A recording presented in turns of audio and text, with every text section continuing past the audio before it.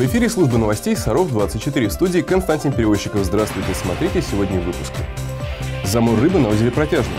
Комиссия из Министерства экологии и природных ресурсов региона посетила городской водоем.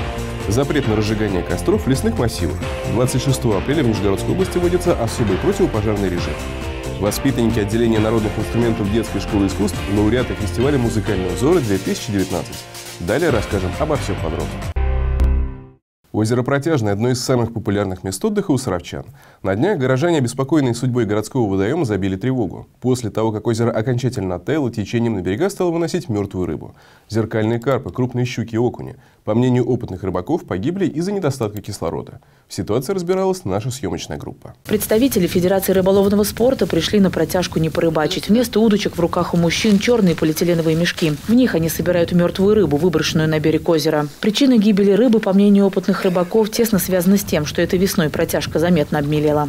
Когда были зимой, э, лед бурили, смотрели, в общем, лед порядка 80 сантиметров, под ним сантиметров 10-15 воды, в которой гниет водоросль. Вот. Собственно, как бы как любой процесс гниения, из воды выбирается весь кислород, и как бы рыбе нечем дышать, соответственно, она погибает. Массовую гибель рыбы в водоеме называют замором. Он происходит из-за недостатка или полного отсутствия растворенного в воде кислорода. Течением на берега водоема принесло несколько десятков килограммов рыбы. Это зеркальный карп, крупные щуки, окуни и мелкие виды обитателей озера. Скорее всего, довольно много рыбы было придавлено льдом. То есть э, в момент, когда лед начинает таять, он становится более тяжелый и опускается. То есть бывает так, что рыбу давит. Как рассказывают представители Саровского клуба подводной охоты «Тритон», на дне протяжки лежит в основном мелкая рыба. С очками они достают мертвых окуней вместе с большим количеством мусора. Водоем загрязняется, люди летом здесь купаются. Вот. Ну и чтобы водоем был чистый, стараемся очистить его от погибшей рыбы. По словам рыбаков, замор рыбы в саровских водоемах явление редкое. Для того, чтобы установить официальные причины, на озере работала комиссия из представителей Министерства экологии и природных ресурсов региона и сотрудников городской администрации. Министерство экологии они направили э, запросы свои в ветнадзор и рыбнадзор для того, чтобы они по своим ведомствам уже э, тоже проверяли данную ситуацию. Ветнадзор, я знаю, что тоже берет пробы воды, берут пробы э, рыбу. Все водные объекты находятся в государственном реестре и ведении Министерства экологии и природных ресурсов. Город, в свою очередь, отвечает за содержание гидротехнических сооружений и уровень воды. Искусственного уровня понижения воды не было. Питание данного озера идет из ручьев, которые находятся на территории Мордовского государственного заповедника. Как вы прекрасно знаете, в данный пруд нет никаких э, источников промышленного сброса. Официальные причины ситуации появятся только после получения результатов экспертиз. В соответствии с ними будут предприняты необходимые меры. Канал 16 будет следить за развитием событий. Дарья Цапарыгина, Владимир Лисик, Сергей Рябов, служба новостей Саров 24. С 26 апреля на территории Нижегородской области вводится особый противопожарный режим. Согласно постановлению правительства региона, с этого момента запрещается разводить костры в лесу и использовать приспособления для приготовления пищи на углях. Настоятельно рекомендуется соблюдать меры предосторожности при обращении с огнеопасными предметами. Любое, даже самое минимальное возгорание в лесном массиве может привести к печальным последствиям. Сухая трава и ветки воспламеняются в считанные минуты. Именно поэтому после того, как с территории лесопарковых зон полностью сходят талые воды, устанавливается особый противопожарный режим. Жителям э, рекомендую все-таки воздержаться от возведения, разведения костров, э, проведения каких-либо пожароопасных работ – запускание всевозможных э, каких-то летательных аппаратов, связанных с э, огнем. Лесные пожары бывают двух типов. Низовые, когда загорается сухая трава и подлесок, небольшие кустарники и маленькие деревья. Справиться с таким пожаром значительно проще, чем с верховым. Последний опасен своим распространением на соседние кроны сухих или хвойных деревьев. Их раздувает очень сильный ветер, они бывают э, в ветреную погоду и, соответственно, в четвертый, опять же, и пятый класс пожарной опасности, которые устанавливают в лесах. Полный запрет на посещение лесов наступит, если спасатели установят четвертый или пятый класс пожароопасности. Несмотря на то, что до знойных засушливых летних дней еще далеко рекомендуется не бросать в лесу или на обочине дорог окурки и помнить о правилах пожарной безопасности, находясь на дачных участках. А именно убирать от сухой травы, валежника. И все это делать э, в весенний-летний период до наступления сухой жаркой погоды. В период действия особого противопожарного режима штрафы за нарушение правил посещения лесов увеличиваются вдвое. Административная ответственность варьируется от 2 до 4 тысяч рублей. Дарья Цапарыгина, Артемий Глазков, Сергей Рябов, служба новостей Саров, 24. В эти дни в нашем городе проходят международные конференции «Харитоновские тематические научные чтения». Они посвящены памяти выдающегося ученого, академика Юлия Борисовича Харитона. Участниками чтений стали более 150 представителей науки из Израиля, Китая, Казахстана и Эстонии. В шести секциях представлено около 200 устных и стендовых докладов, в том числе и от зарубежных ученых. Другая важная информация в подборке коротких новостей. Государственная Дума приняла закон, согласно которому пенсии ветеранов Великой Отечественной войны увеличатся в среднем на 9,5 тысяч рублей в месяц. Повышенные выплаты начнут получать фронтовики, принимавшие участие в боевых действиях в составе действующей армии, награжденные медалью за оборону Ленинграда и инвалиды вследствие ранения, полученного из-за войны. Глава города Александр Тихонов проведет личный прием граждан. Он пройдет 29 апреля в здании городской думы и администрации. Записаться на встречу можно по телефону 9 77 73. Политехнический техникум имени Бориса Глебовича Музруку вошел в число победителей конкурса «Лучший работодатель Нижегородской области». Саровский политех стал первым в номинации «Высокий стандарт», где жюри оценивало исполнение конкурсантами законов о занятости. Торжественное собрание, посвященное 70-летнему юбилею, прошло в Саровском драматическом театре. Благодарственные письма от Министерства культуры Нижегородской области, главы города, администрации, а также Департамента культуры получили около 50 сотрудников. Среди награжденных благодарственным письмом Департамента культуры Артем Жуков. Он присоединился к труппе театра чуть более трех лет назад и быстро стал одним из самых востребованных актеров. Больше всего Артем любит играть в постановках для самых маленьких зрителей. Если мы берем какой-то а, драматический репертуар, то мы можем а, это обратиться к самому себе, внутреннее состояние души и как-то к этому подойти к этому моменту. А в сказке это порой бывает фантазии. В это нужно верить и отдаваться эти, вот, как я сказал, на 200%. И при этом, э, если ты играешь как вот гнома, нужно верить, что гномы существуют. Поздравляя коллектив театра с юбилеем, Александр Тихонов вспомнил тех, кто стоял у истоков создания нашего театра, порассуждал о настоящем и попробовал заглянуть в будущее. Будущее, понятно, что много молодежи, много опытных актеров. И в этом смысле я думаю, что будущее нашего театра – нашего театра прекрасно.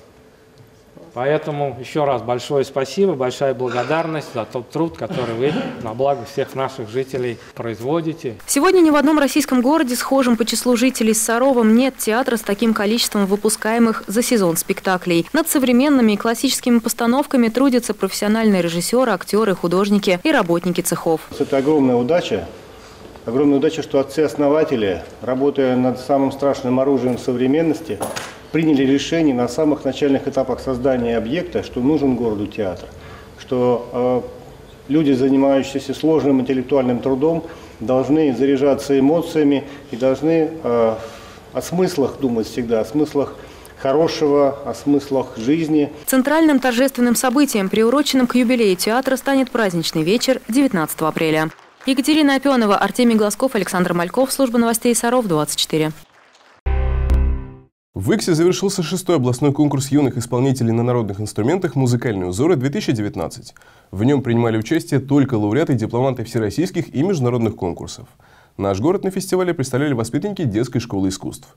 Юные музыканты отделения народных инструментов завоевали звание лауреатов первой и второй степени – на отчетном концерте баянистов побывала наша съемочная группа. Перед выходом на сцену на отчетном концерте отделения народных инструментов Илья Заузолков и Илья Лукин чувствуют себя уверенно. Все волнения от участия в областных конкурсах остались позади. И теперь они на родной сцене исполняют пьесы, которые принесли им победу в фестивалях. Нина Фасонова считает, что участие в различных конкурсах помогает ее подопечным достигать новых высот. Поэтому здесь есть своя цель. Ребенок должен э, понимать, насколько он вырос, насколько он поднялся, на какую планку. Каждый конкурс дает им какой-то толчок. В марте на музыкальном фестивале в Нижнем Новгороде Илья Заузолков и Илья Лукин стали лауреатами второй степени. А спустя месяц в Иксе на конкурсе «Музыкальные узоры-2019» оба воспитанника детской школы искусств также завоевали звание лауреатов. Подводя итоги своих побед, Илья Заузолков признался, что из двух исполненных пьес ему больше нравится народная композиция? В романсе надо больше исполнитель, то есть чувство, а в как под горкой, там нужна техника. Нелегкий путь к победе прошел Илья Лукин. С технически сложной композицией «Заиграй моя волынка» он участвовал в нескольких конкурсах и фестивалях. Раз за разом он улучшал мастерство и, наконец, довел исполнение музыкального произведения до совершенства. Потому что я играю уже второй год. Она на тот момент, когда мне ее выбирали, она мне показалась сложной, но я с ней справился.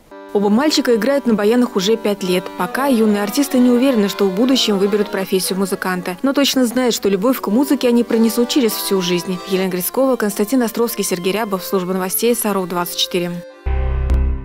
21 апреля в здании бассейна «Дельфин» пройдет традиционный турнир по становой тяге памяти мастера спорта СССР Занефа Валеева. Соревнования в честь легендарного тренера проходят в нашем городе ежегодно. В 9.30 начнется контрольное взвешивание спортсменов. Основная программа стартует в 11 часов. Подробности далее. Юбилейный мемориал памяти заслуженного мастера спорта СССР по тяжелой атлетике Занефа Валеева было решено провести по усеченной программе и вместо классического троеборья предложить спортсменам только становую тягу. Это самый зрелищный элемент. И во-вторых, в этом элементе как бы атлет показывает все свои достижения, связанные с тренировочным процессом. Здесь, значит, все мышцы задействованы. То есть и плечевой пояс, и спина, и ноги, все здесь как бы элемент. То есть это такой элемент, он как бы функционально забирает в себя все, что есть в троеборе. Как рассказали организаторы, они намеренно не стали делать эти состязания официальными и протокольными. Первостепенная задача, которую они ставили перед собой – почтить память своего друга и тренера Занефа Валеева. Эти соревнования уже, им уже не присвоится статус чемпионата города. Да? То есть, если был троеборье полноценный, то это был бы, может быть, и статус еще чемпионата города. А это просто чистый мемориал, посвященный памяти Занеф Габдуловича. Соревнования пройдут 21 апреля в тренажерном зале бассейна «Дельфин». В 9.30 начнется контрольное взвешивание спортсменов, основная программа стартует в 11 часов. Вход свободный к участию допускаются только совершеннолетние спортсмены. Кирилл Васенин, Владимир Лисик, Сергей Рябов. Служба новостей Саров 24. Сразу после выпуска новостей смотрите наш спецпроект «Лица Победы». Из первых уст вы услышите истории тех, кто подарил нам мирное небо над головой. Следите за новостями города в группах канала 16 в социальных сетях ВКонтакте, Facebook и Одноклассники. Подписывайтесь на наш канал в YouTube и смотрите все информационные выпуски, авторские программы и расширенные версии репортажей в удобное для вас время. В студии работал Константин Перевозчиков. Всего вам доброго и хороших новостей.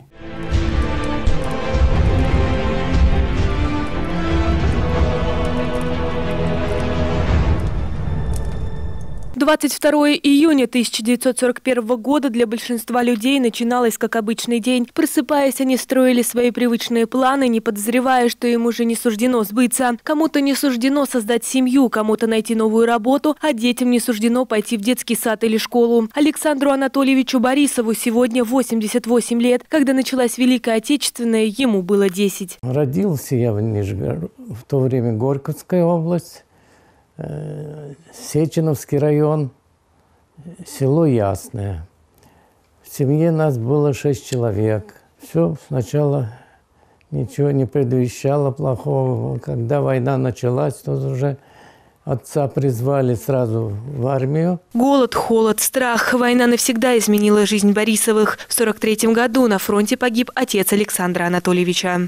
Все время э, присутствовал голод и холод во все то время почти в самом начале, когда еще война только началась, мы еще как-то там у нас были резервы и для пищи, и там для питания, и какие-то резервы, одежка и прочее. А там позднее уже все подносилось стало и холодновато. Александр Анатольевич вспоминает, что многие дети уже в 12 лет вставали к станкам на фабриках и заводах, работали на стройках наравне со взрослыми, занимались тем, что им было по силам. И все равно мы продолжали помогать, э, собирали, кто там вязал носки, чулки, что можно было, как говорится, все высылали на фронт. После войны семья Борисовых отправилась в Москву к родственникам. Там Александр Анатольевич окончил школу, устроился на работу на ткацкую фабрику, а в 1947 году поступил в ремесленное училище. В годы учебы, конечно, очень старался. Ну, все мы тогда молодые люди, пережившие э, войну, такие тяготы, были очень аккуратны в своих подходах и к работе, и к учебе. Старался хорошо. Меня заметили там. И пригласили работать в Саров, где Александр Анатольевич со своими близкими живет и по сей день.